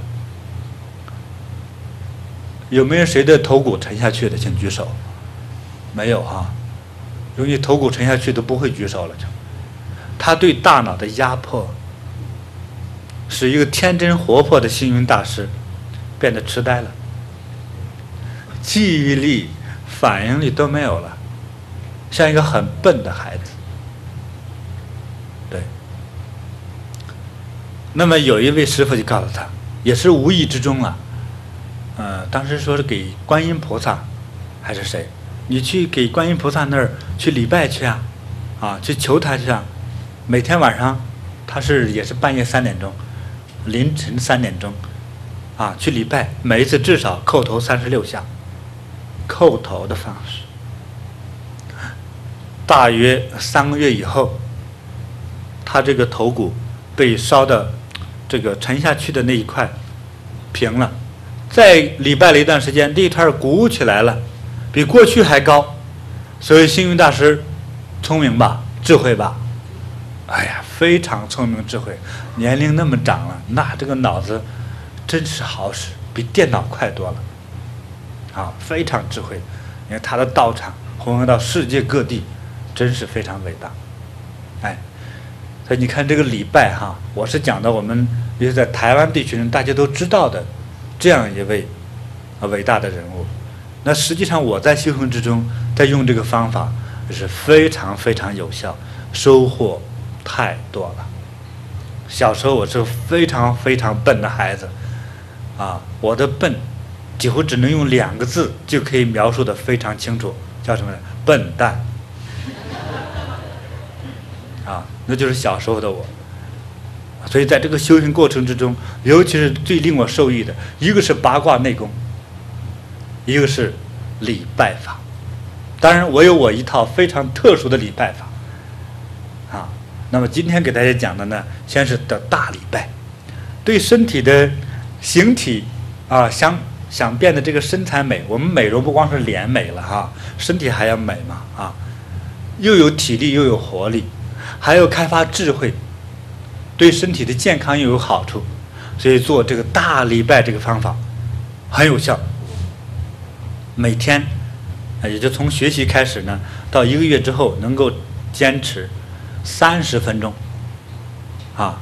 如果我们体能不够，我们分三回把它做完，四回把它做完也是可以的，好吧？就是千万不要赶上老年朋友。好了，我一上午的时间，也就是四个小时的时间，我要做完半个小时，不行，我怕你明天你就跑不动了，啊，那需要就是循序渐进，你的体能也是这样。那么年轻孩子一次半个小时没问题，你会觉得最累的就是小腹肚子这一块，哇，这一块真的有点痛，没关系了，习惯就好了。所以小孩子、青年朋友都是可以的，这对你开发你的智力、身材变好太有帮助了。啊，这是我轻易不传的方法呀。今天我传给你们了，你们也没给我缴费啊。这里可说不是便宜没好货啊，都没收你的钱哈。传授这么个好方法。你说，尤其是成年的女士，你为了减掉小腹的肚子，有的要开刀，有的抽油，简直是拿一个人当机器使啊！想方设法要花多少钱，哎，都不一定起到那个作用。这个方法又省钱，你随便，几乎在任何一个地方，只要能超过四平方米的地方，都可以做的一个行为，啊，就能达到这个作用，啊。对，多省钱，又省事，而且是一举多得的方法。哎，所以你做完了之后，一旦一星期之后，你就开始习惯了，你会感觉到哇，每天全身那种透着一种青春活力的气息，你的快乐的感觉自然就会产生了。这不光是有了那几项好处，做完之后那种快乐感，这是用钱买不到的。啊，这一点非常非常重要。啊，所以欢迎你赶快试一试。那么在做这个大礼拜这个方法的时候呢，啊，那么从严格的角度来说，你在冲着礼拜的这个这个前面这个墙上，最好是有神像、佛像、菩萨像之类最好。那有的人说，那正好我奶奶死了之后，她的相片贴在那儿，这样礼拜行不行？不行。啊，他给你的加持。嗯，那就不是你奶奶了，也不是神佛的阳光的积极的能量，而是死亡的能量。所以我们不能这个做这个动作行为作为修行的时候，不能用死亡人类的照片和灵牌。啊，神佛菩萨都可以。啊，那有的人说用我的照片也可以。从饮食上来说，只说一个问题：少杀生，少吃肉，啊，不一定多吃素。哎，这个这这个我也很矛盾的。我一直最近为这件事情困扰，我就慢慢的把它解开啊。因为很多，尤其是有叶子的这个我们吃的蔬菜的叶叶片式的蔬菜上头，我们农民朋友为了保证它的蔬菜丰收，是要加很多农药的，也是你是不杀生了。啊，并不代表吃蔬菜就那么健康，因为我们今天吃的蔬菜已经有很多农药，换句话说就是毒药。你吃蔬菜的同时吃了很多毒药，请问能健康吗？好，以后我们再讨论，专门讨论这个话题好了。但是并不代表说多吃肉就健康了。今天的猪牛羊吃的也同样是加了很多类似农药的东西。它比农药还可怕的是一些啊，那叫。激素的，促进生长的一些化学的添加剂，所以今天使很多在国外在大城市生活的孩子极度的肥胖，或者是生长的比例非常叫做不标准、非常超标准的原因，就是使用了大量的激素型的东西、农药的东西，对身体有伤害的东西，但是在饮食上几出几乎让我们无路可逃。所以以后我们专门抽时间讨论，怎样在这个无路可逃的饮食状况下，杀出一条健康的出路，不能叫杀了哈，找出一条健康的饮食出路。我们以后再慢慢讨论这个问题。只是说为了健康，啊，呃，就是让吃的食物在体内保持的时间越少，那就是呃需要多喝水，早晨起来一杯水。不是热水，不是开水，而是普通自然温度的水，就是你房间什么温度，这杯水大约什么温度就比较好。这个杯的量有多大呢？作为成年人来说，就是一个比较大的水杯。像我现在端的这个水杯都算中型的水杯。你看这个水杯和我的人体的比例有多大？它是一个中型的而已。最少是一杯这样的清水，不添加任何添加剂。啊，喝这个水的作用是什么呢？是指促进排泄和消化。早晨起来第一件事不是先上厕所，而是先喝一杯水。啊，你排泄的状况不太好的人可以增加一点。还有呢，实在不行，一天三杯水，是指饭前十分钟，一天三杯水。如果说持续半个月以后，效果还不是最佳，还有方法，就是在里面添加一点食用的盐巴，食用的盐，添加一点儿啊。你放的盐太多了之后，渴的不得了，你会变成喝十杯水了，就受不了了哈。添加一点盐巴进去，啊，搅一搅，融化之后喝掉，就会非常有效了，比吃那些减肥药、减肥茶，它里面会都会有副作用的。卖这些药的人都自己都会说的。啊，不是我来贬低这个吃药减肥的问题，啊，这个非常有效。三顿饭前三杯水，最多加一点盐进去，不是抽烟的烟哈，是食用盐咸盐，放一点点进去，不要感觉它很咸，一种淡淡的盐味就好了。啊，三杯水会非常有效。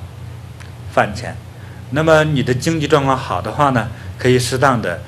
用两三种水果搅成打成汁，而不是压出汁来，而是连水果果肉一起搅。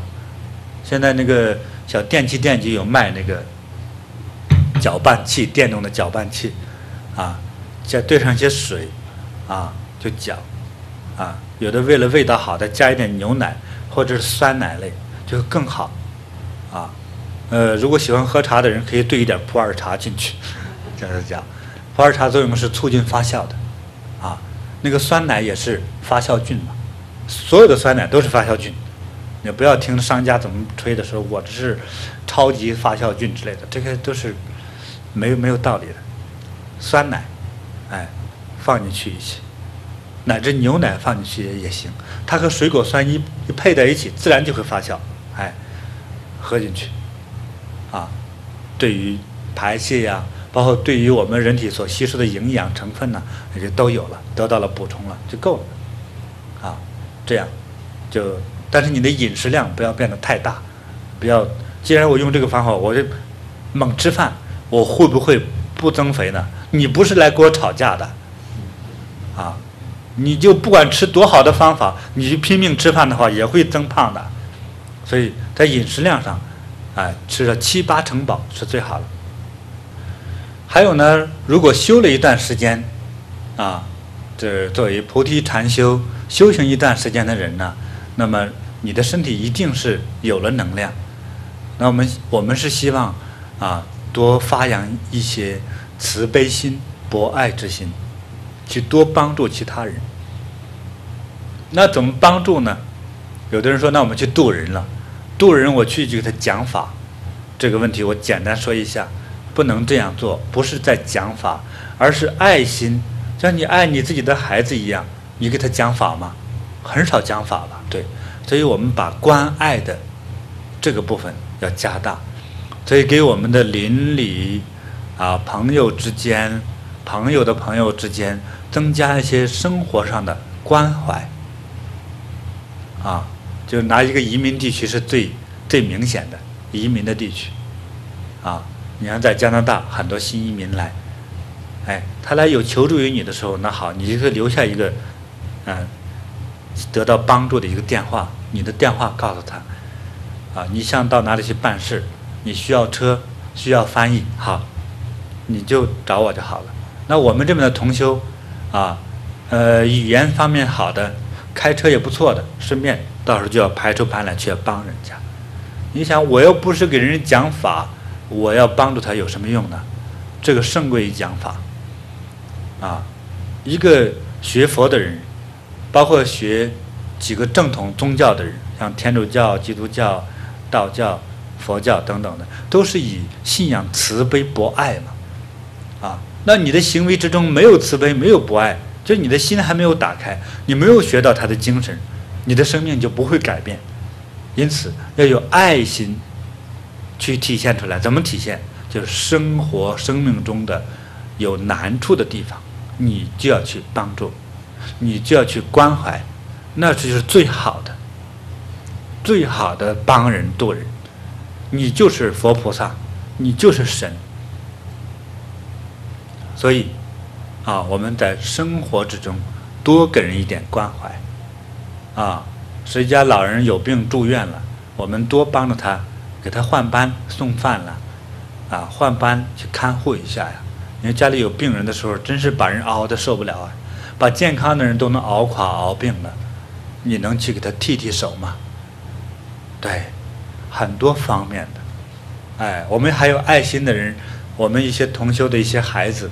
我们帮着给他带一带看一看，啊，甚至是还有人教不同的一些技能啊，啊，科目啊，在国外可以帮助他们教中文呐、绘画呀、音乐呀、舞蹈啊，促进孩子健康生长的这一切的知识和技术，你都可以去用你的爱心去帮助他们呢。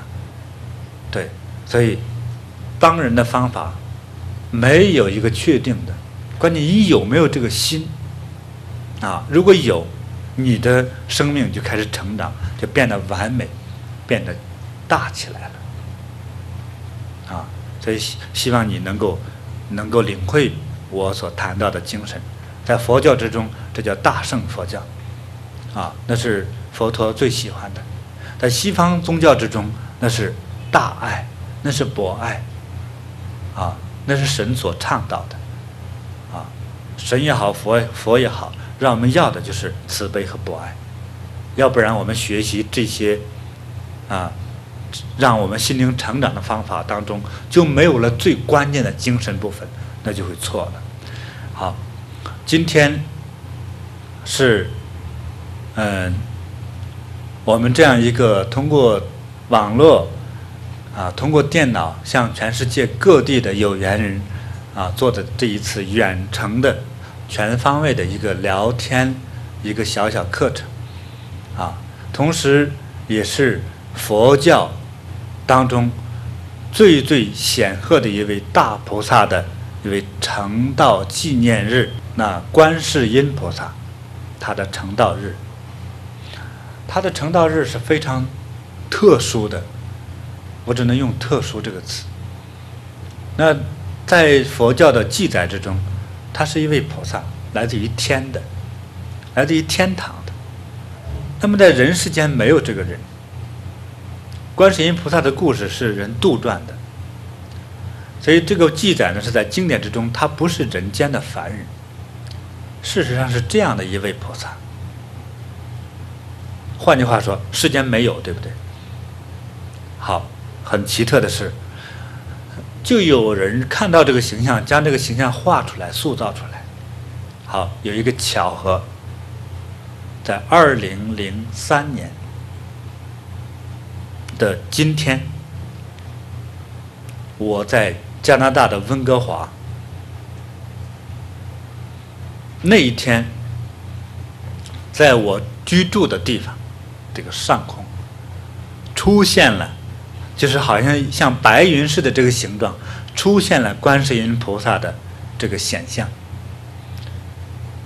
他不可能像一个活人一样，活人的感觉有一个高度比例啊。但是我们看到他的时候，那感觉至少有一百米那么高，一百米，台湾讲一百公尺那么高，啊，可能像超过一一零一大楼那么高，那特别高的在天空之中。幸好我呢也是一个因缘嘛，一个缘分，就是我就拿着相机，准备好相机给他照，啊！但是我在过去看到很多这种显灵啊、这种奇迹的时候是拍不到的，啊，甚至拍完之后都没有的，啊！过去给我随行的那些摄影师、记者，有时候看到奇迹，眼睛能看得到，照相机拍不到，啊！那那次我也就。反正尽量拍吧，万一能拍到呢？如果我能看到，大家看不到啊，啊，所以我就想把它拍下来。好，那我拍完，我为了保证有个效果呢，有一个普通过去那个胶卷的那个照相机，好长时间都不用了，就放在那儿，我把它拽出来，结果它那个就剩下最后那么一两张。那还有一个叫数码相机，我们也叫数字相机、数位相机，就是现代化这种相机和电脑结合的那个。等拍完之后，这个数码的这个相机，插到电脑上去看，里面原有的照片都没有了，空白了。原有里面存了二三十张照片都没有了，那菩萨像更没照到。那那个胶卷的那种叫感光相机。我也不能打开呀，这样的可能也拍不到的，好吧？他们还是送到那个洗相的店里去洗去吧。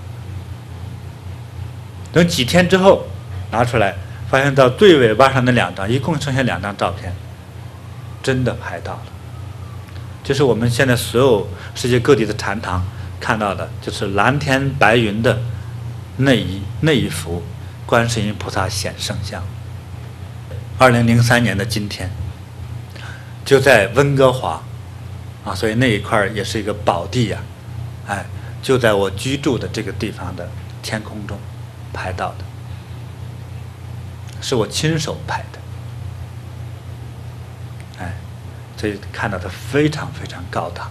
那一段时间出现了很多非常我们看似很呃奇迹的、很美妙的一些云图。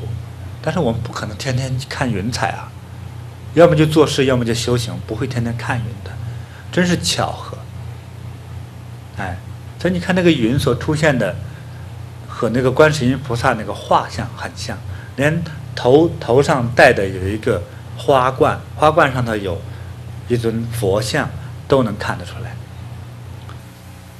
所以在天空之中，就在这一天，出现了。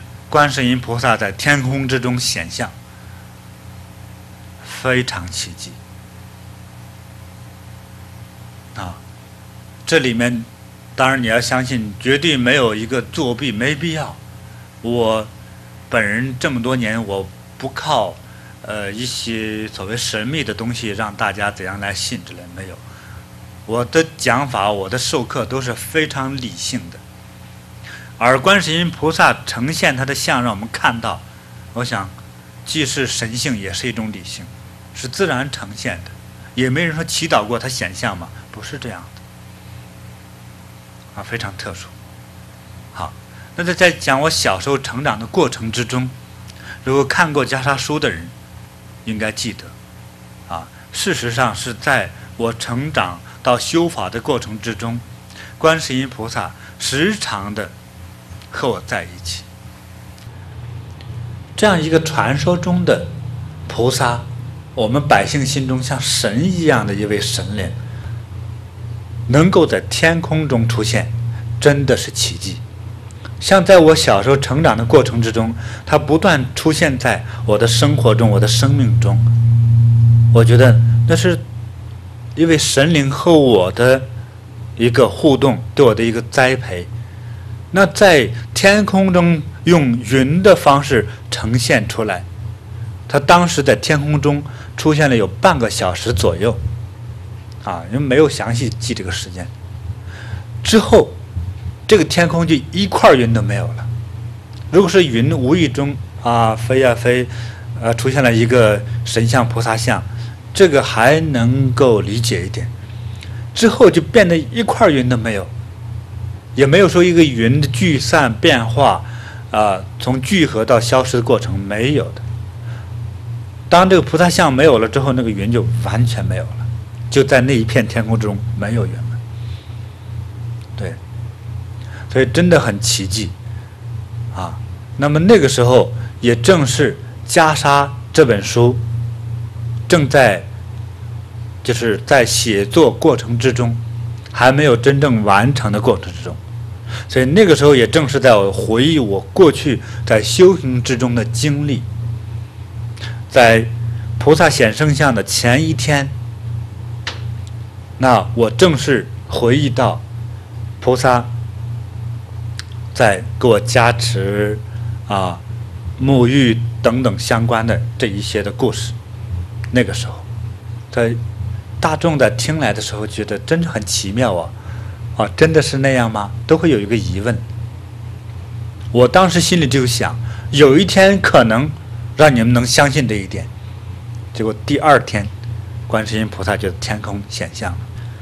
所以我们想获得观世音菩萨他的加持，他的护佑，向的菩萨他的愿望哈，就是说一切有苦有难，包括有的算不上苦难的人类的需求啊，比如病、灾、牢狱啊等等的这些事故的痛苦啊，你祈求他，他就会帮你。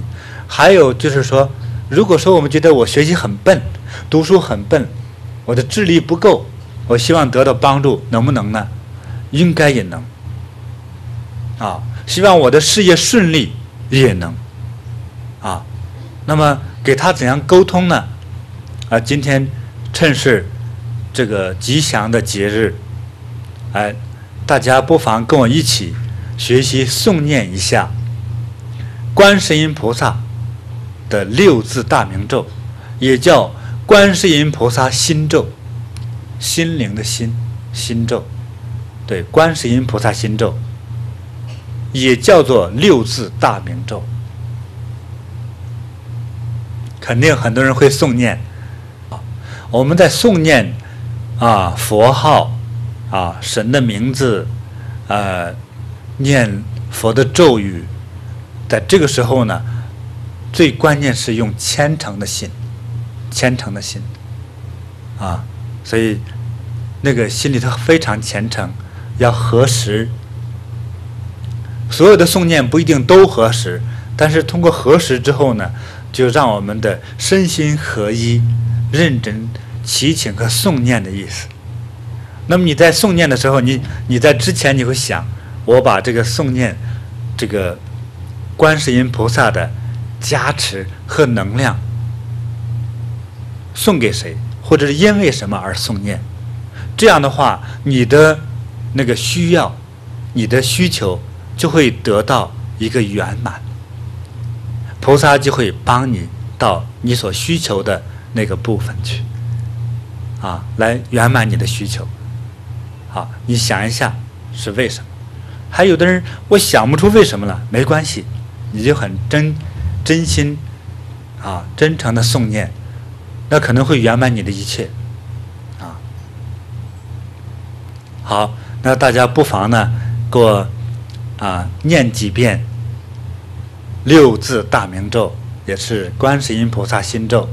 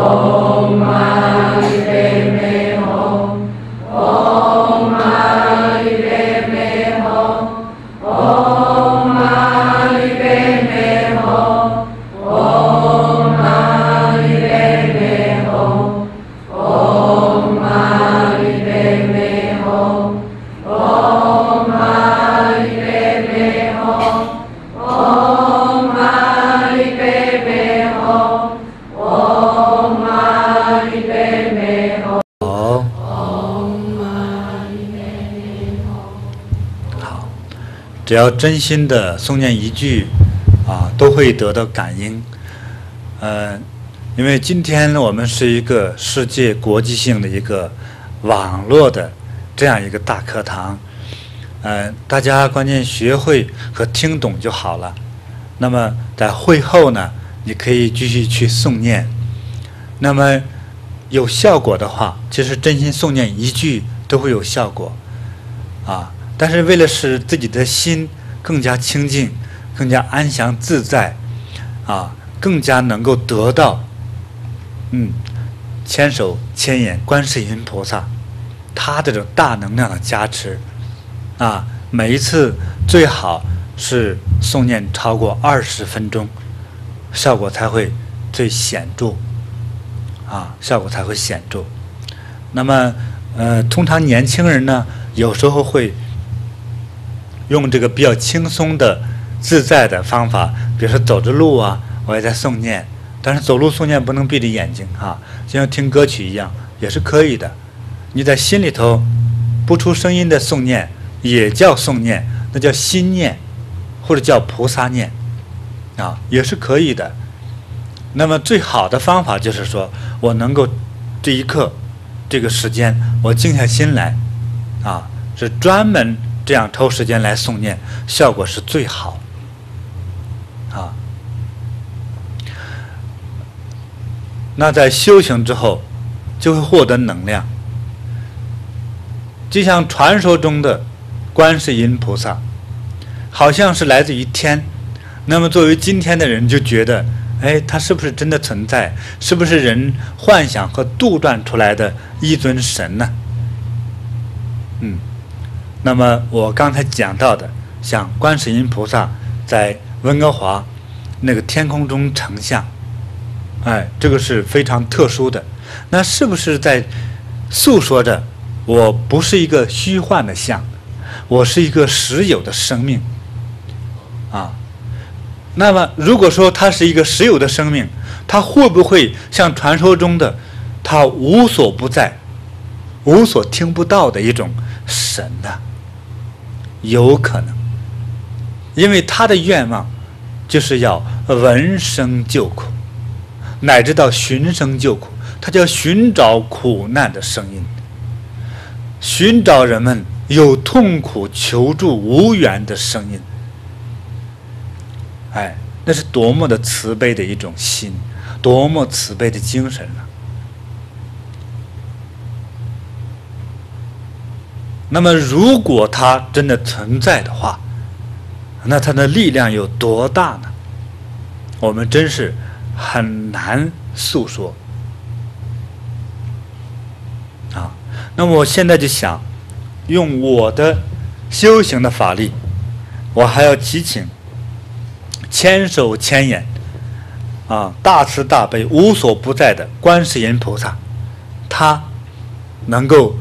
和我一起，或者帮助我，啊，给今天一切能够看到和听到这个声音，乃至到以后能够看到这一段录像的人，他能够获得啊菩萨大威力的加持，让很多人现场就有感应，现场就有效果。很多人现场的病痛就要消失，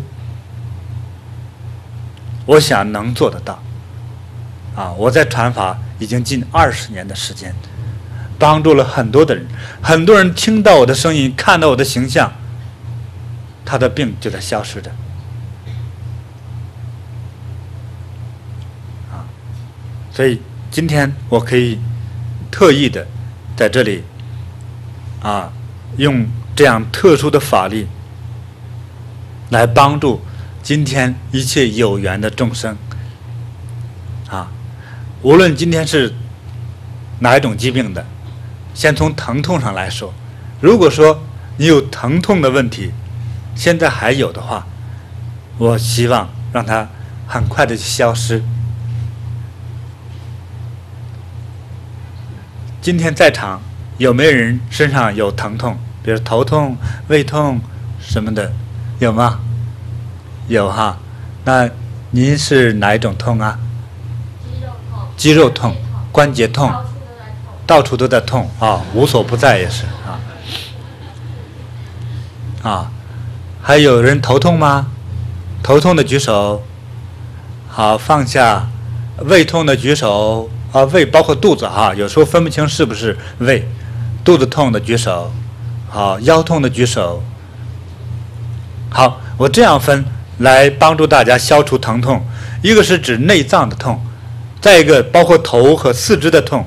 好，先帮大家消除内脏的感受的疼痛，好不好？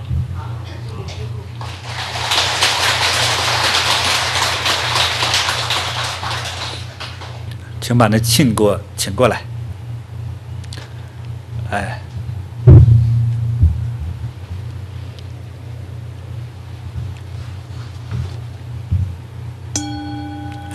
棍子，变魔术了。现在是消除你的痛啊，这里。有一个黄金打制的一个磬啊，你听到它的声音，你的痛随着声音消失了。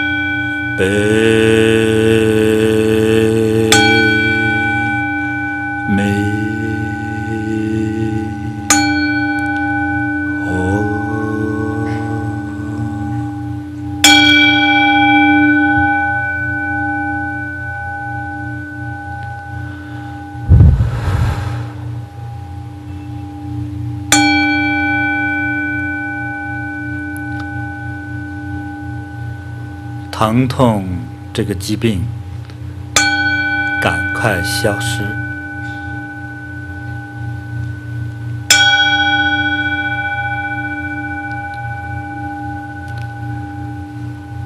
消散了，消散了，散去了。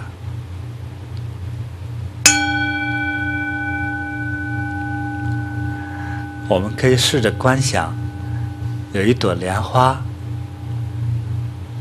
莲花像一副笑容，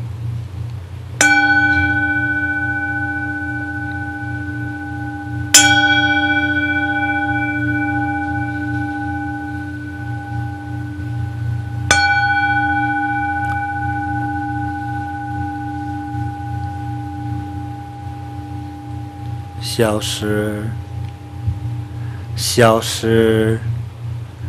消失。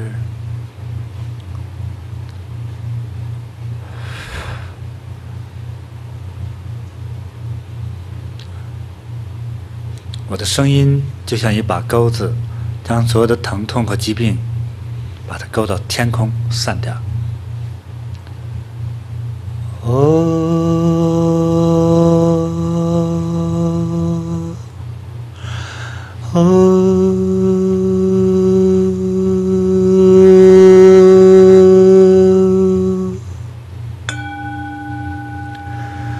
Oh.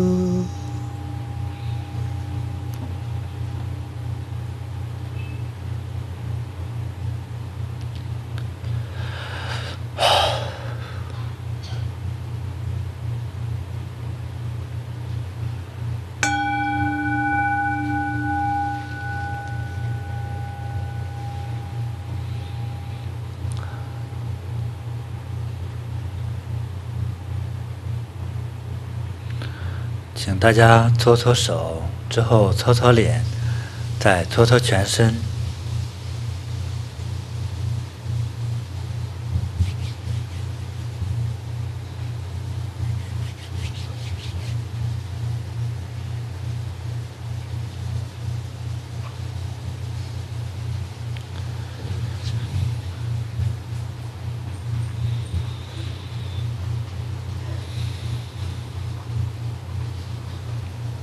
可打一下。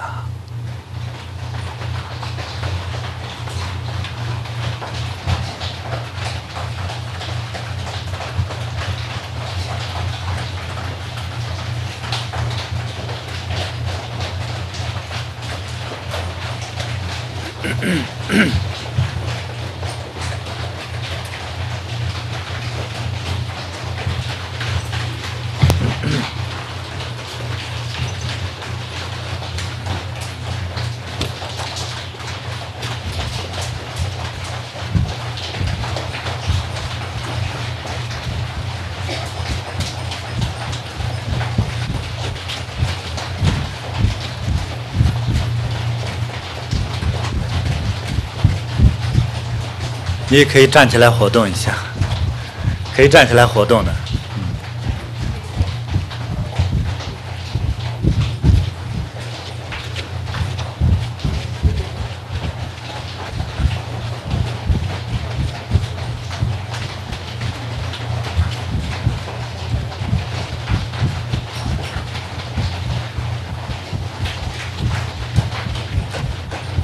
可以站起来。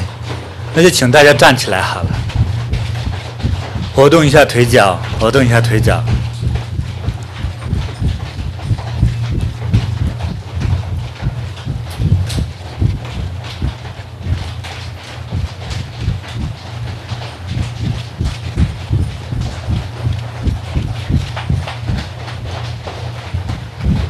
哎，请问大家，刚才有身体疼痛的，现在有没有觉得有不痛了？啊，疼痛消失了，有没有？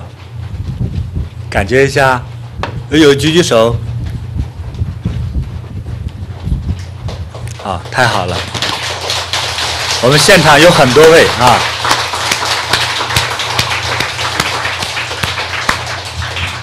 很多位。那你会想，这个疼痛是永远消除了呢，还是只是这一刹那呢？不一定。一个是看你信心，第二个看病情。啊，有的人就这疼痛就永远消失了，啊，还有的人要可能很长时间就不会再痛了啊。如果你信心不坚定的话呢，可能过一会儿还痛啊。呃，没关系，我会永远给你服务的。呃，好。那么还有人就是说我们四肢的疼痛哈，四肢疼痛，因为今天时间有点过了哈，那就。大家说我们继续下去呢，还是现在停止呢？好，好，那我们在世界各地的啊朋友们、同修们，是不是可以再多待一会儿哈？行吧哈，好，那我们就多坐一会儿。下面呢会把一些疼痛的问题，会我用咒语会给你消除掉。那还有让有一些。呃，走路不顺畅的人，现场能走路；还有那个手臂哈，手臂，比如说举到这儿，哇，之后上去就疼痛的受不了，不能举了。过一会儿就自然的能举，啊，很容易的，非常容易。那么大家就站起来就好了。那么世界各地到场的朋友也要站起来听啊。好。现在，如果你你包括弯腰弯不了那么深，你试一试哈，比一比。哎，你那走路不方便，肩膀举得不方便啊，或者脖子动一下就会痛，过一会儿就完全不一样了。大家有信心吗？帮我拿起来。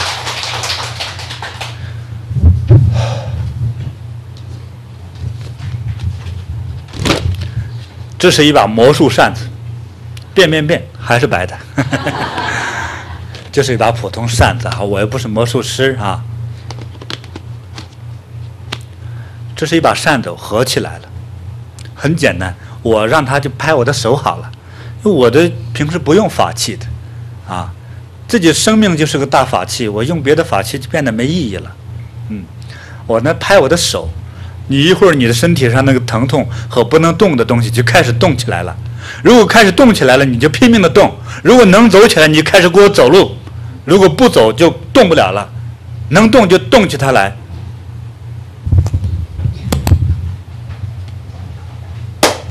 哇，这么痛啊！哇，太痛了！我能不能打个别的呀？啊，这也行啊。这个有个小碟子，我以为不那么痛呢。我找一个纸盒子也行啊，啊，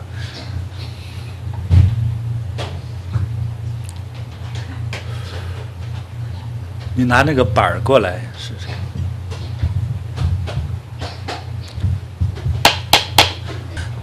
今天来个狠的啊啊！因为世界各地呀，全球都有人在收看。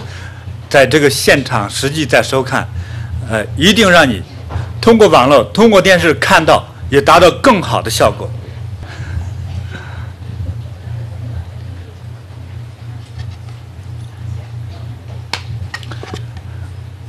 有不在现场的诸位朋友哈，这是个锅盖哈，这不是一个魔术的原体哈。看这里手拿的锅盖哈，嗯，好了，那我就用它。用这把扇子，就这样敲打它，声音有点大，没关系了，你就听这么大的声音好了。平时都难得的啊，只要让你不痛了就好了。有些疾病在今天之后，当场或之后就会好。哎，不会走路的要走起来，胳膊不能动的，腰不能动的，脖子疼痛不能动的，现场就要动起来。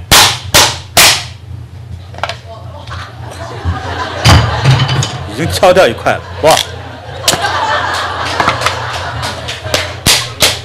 这力量实在太大了，这不是神力才怪呢。嗯。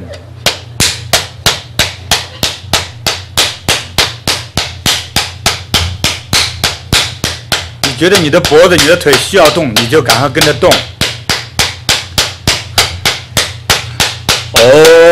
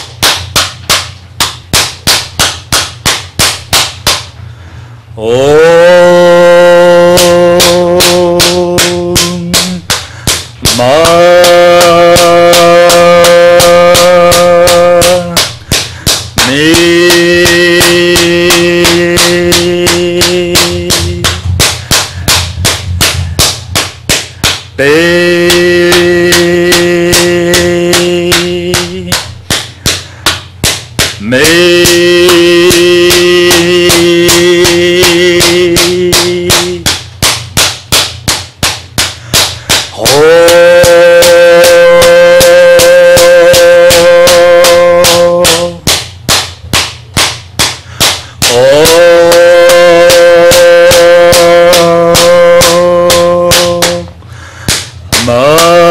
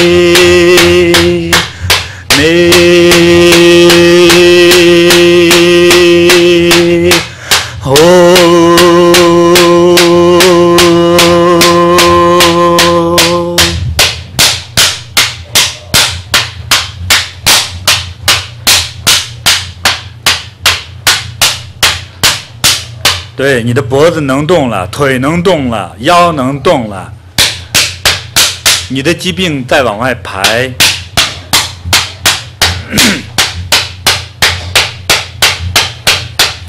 包括有邪病、恶病、恶灵缠身者，听到这个声音，听到这个咒语，他一定会离开你。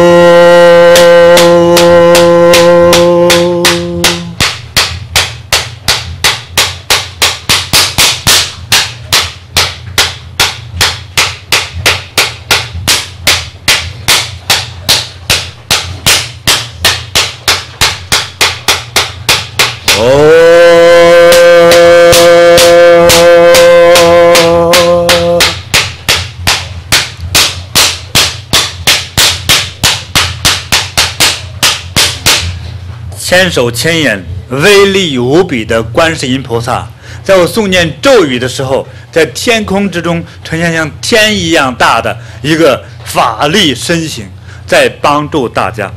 希望你最诚挚的心去接受它，去恭迎它。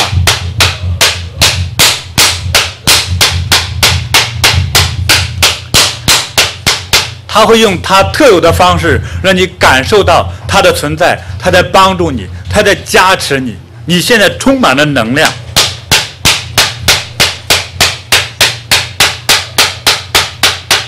你看，你原来无论是身体某个部位不方便动的，现在已经开始能动了，对不对？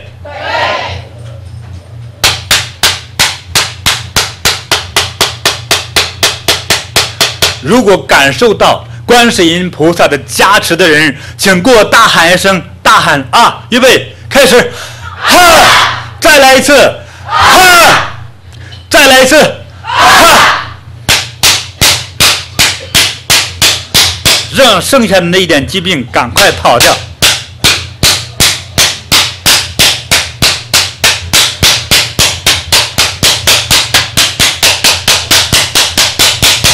请大家跳一跳。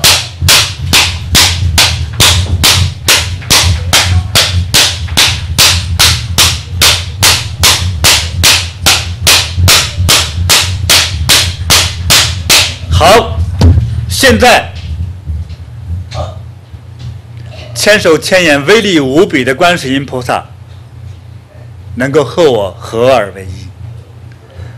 用我用这一只手，就把你能够拉到我面前来。这只是前面我们有供台供灯，啊，稍稍不方便，请问前面来四位，前面四位老师稍稍护驾一下，让今天有些有缘的。某些朋友、某些同修，我会拉到前面这个台上来，在电脑前、电视机前，啊，来收看的一切朋友，同样让他达到这个威力，将这个威力传到那里，不但不会减少，反而还会增加。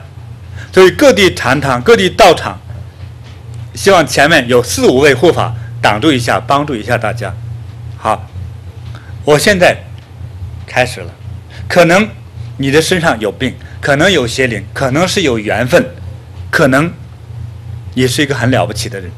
那我用我的法力将你拉过来，很简单。啊，大慈大悲、威力无比的千手千眼观世音菩萨，请来。哦。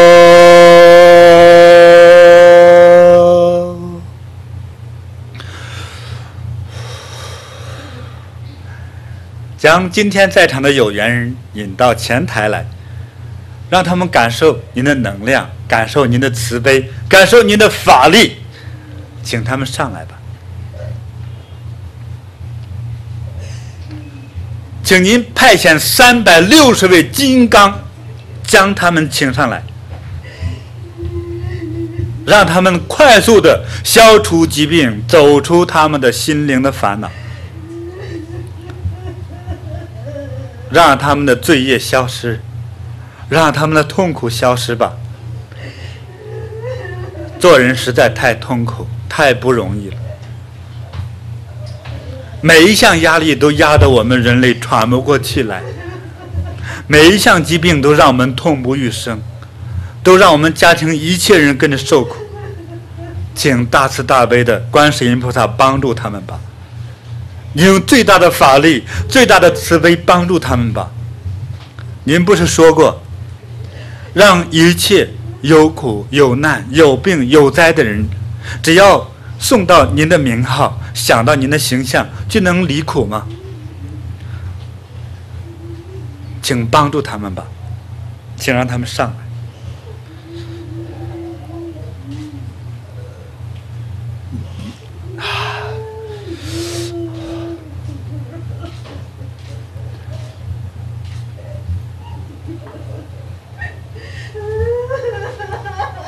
三百六十位金刚去帮我请他们上。上。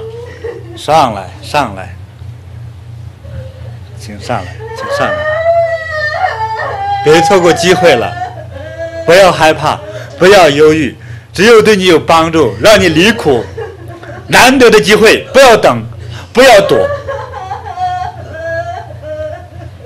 让你活得更好，更幸福，更聪明。更健康，让威力无比的千手千眼观世音菩萨消除你的灾难，消除你生命中的一切障碍和烦恼。上。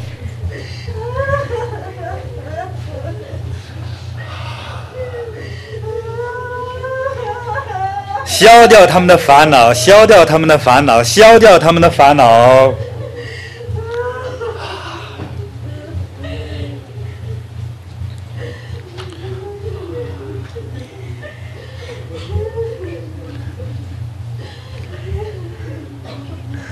我们没有尊严，没有面子，因为我们有苦，我们有烦恼，所以难得的机会。难得消掉痛苦、消掉障碍、消掉磨难的机会。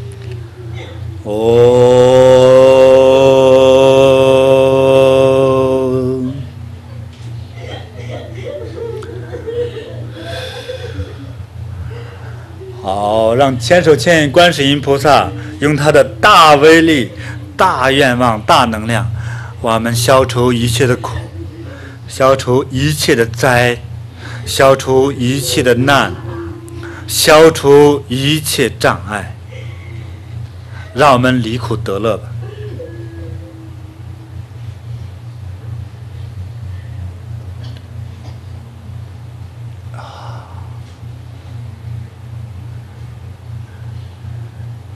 平静下来，平静下来，双手合十，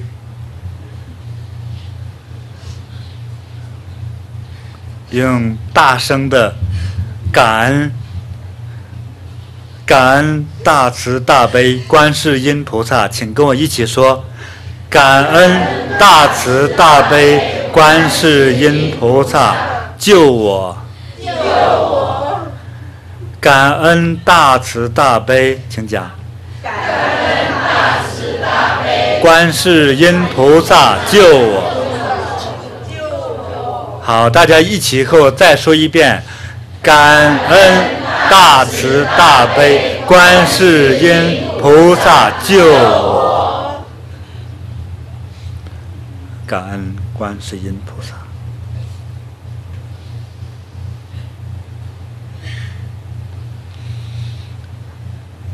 好，所有的朋友，今天能够在场的，还有在远方，在电脑上、电视上各种方法看到这一段视频和声音的人，好，用两个手捂住心脏的部位，捂住心脏的部位，捂住心脏的部位。好，和我一起大声喊啊，好吧，预备，开始。哈，再来一次，哈，第三次，哈，好，拍拍头，拍拍头，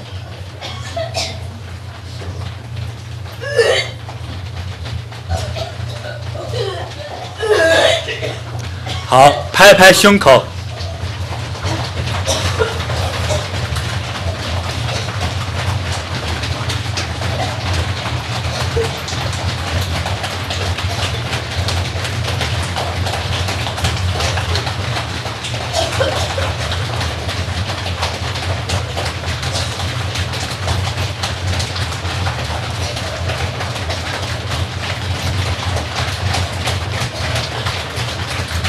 好，请站起来吧。今天台北禅堂上来了有上百位有缘的同修朋友，人们都很吉祥。今天在场的诸位都很吉祥。希望今天不是聚魂大法，而是千手千眼观世音菩萨选择有缘人，啊，你们都很有福。今天所有的能够被观世音菩萨能够请上来的人，都是非常有缘的，一定对你最有最根本的最大的帮助。也许从今天之后你的病好了，也许从今天之后你的法力增强了，你的工作顺利了，你的家庭幸福了，你的学业变得最好了，啊，或者人变得最美了，恭喜你们！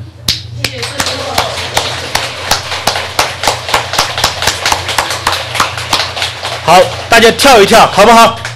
跳一跳，跳一跳，跳一跳，跳一跳。想想你回到儿童时期的样子，跳一跳，跳一跳，所有的人都会跳。大家高不高兴？高兴。快不快乐？快乐。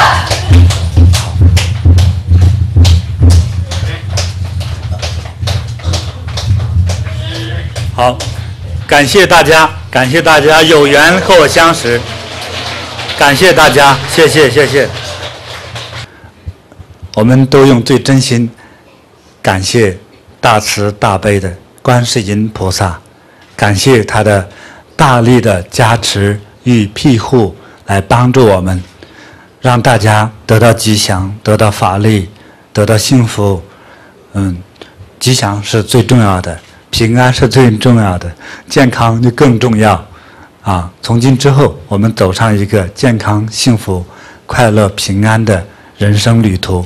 欢迎大家常来我的道场来学习、来修行、来参访，甚至是来居住。谢谢。